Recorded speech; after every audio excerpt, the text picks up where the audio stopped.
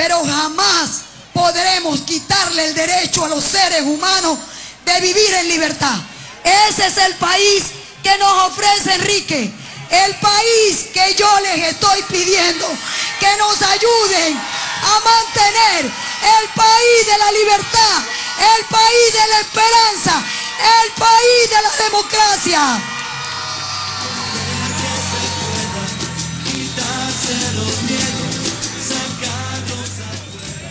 Señores, pero una golondrina no hace verano.